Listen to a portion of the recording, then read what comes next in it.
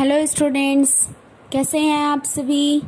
आज हम पढ़ रहे हैं क्लास टेंथ का प्रोज का, तीसरा chapter the Ganga the Ganga question का हिंदी एक्सप्लेनेशन हम पहले पढ़ चुके हैं।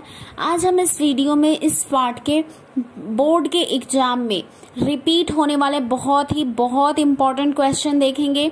जो हमारा सबसे पहला इम्पोर्टेंट क्वेश्चन है why does Nehru call the Ganga the river of India Nehru ने गंगा को भारत की नदी क्यों कहा है? और आप स्क्रीन पे देख सकते हैं कि आपको 2006, 9, 12 और 14 के डिफरेंट डिफरेंट सेट्स में आपके ये क्वेश्चन रिपीट हुआ है। और ये बहुत ही इंपॉर्टेंट क्वेश्चन है। आपके बोर्ड के एग्ज़ाम में आने वाला क्वेश्चन है।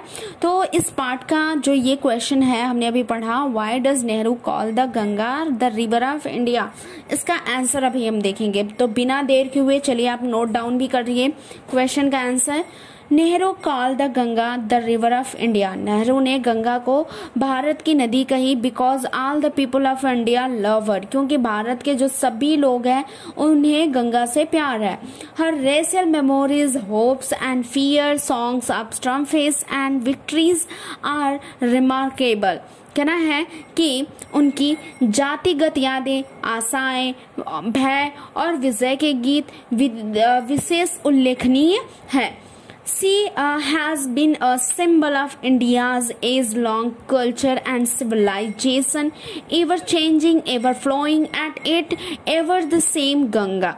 कहना है कि वह भारत की प्राचीन संस्कृति और सभ्यता का सिंबल माने प्रतीक है और सदैव लगातार परिवर्तनशील रहती है सदैव बहती रहती है या लगातार बहती रहती है और फिर भी एक समान गंगा बनी रहती है आगे कह रहा है She also reminds him of the snow-covered peaks uh, and deep valleys of Himalayas, which he had uh, he had loved so much, and of the rich and vast plains below.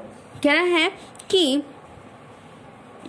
वह उन्हें बर्फ़ से ढकी हुई चोटियाँ, हिमालय की गहरी घाटियाँ, जिन्हें उन्हें बहुत लगाव था, तथा घनी और विशाल मैदानों की भी याद दिलाती है। She is also the past glory of India वह भारत की प्राचीन गौरव भी है, और प्राचीन ही नहीं, वो आज भी जो गंगा नदी है, आज भी हमारे भारत का गौरव है, शान है। बहुत सारे लोग, जैसा आपको पता है कि बहुत दूर दूर से गंगा को देखने के लिए, वो उसमें स्नान करने के लिए आते हैं। तो ये रहा सबसे इम्पोर्टेंट क्वेश्चन अगले वाले वीडियो में हम एक और क्वेश्चन भेजेंगे। आप इस वीडियो में प्लीज़ इस क्वेश्चन को जल्दी से मेमोराइज करके मुझे कमेंट करिए ताकि हम अगला क्वेश्चन आपको दे सके। Thank you so much